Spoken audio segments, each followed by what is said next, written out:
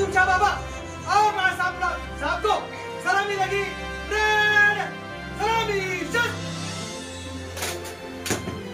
मखदूम शाह दरगाह और मुंबई पुलिस का रिश्ता बहुत पुराना है। मखदूम अली माहिम चौदहवीं शताब्दी के एक सूफी स्कॉलर थे। उन्हें शहर के पुलिस का संरक्षक माना जाता है। पुलिस के सुलझाने में उनकी सलाह लेती थी।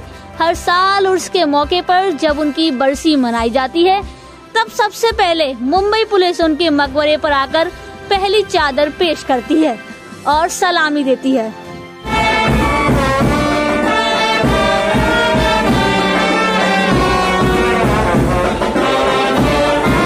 ये सालों से चली आ रही एक रिवाज है। ऐसे में ये साफ़ है कि मखदूम शाह दरगाह पर मुंबई पुलिस की सलामी देने और चादर चढ़ाने की परंपरा सालों पुरानी है। नतीजा हमारी पड़ताल में। सोशल मीडिया पर मखदूम शाह दरगाह पर मुंबई पुलिस द्वारा पहली बार चादर चढ़ाने का दावा भ्रामक निकला। मुंबई पुलिस सालों से वहाँ चादर चढ़ाती आ रही है।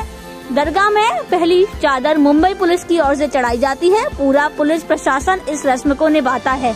2016, 2017, 2018 और 2019 के वीडियोस मिले हैं जिसमें मुंबई पुलिस दरगाह में सलामी देते हुए दिखती है। 2014 से 2019 तक महाराष्ट्र में बीजेपी के देवेंद्र फडणवीस मुख्यमंत्री थे, यानी बीजेपी की सरकार के समय भी सलामी दी जाती थी।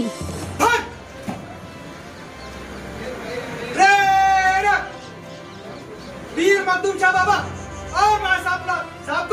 सलामी लगी।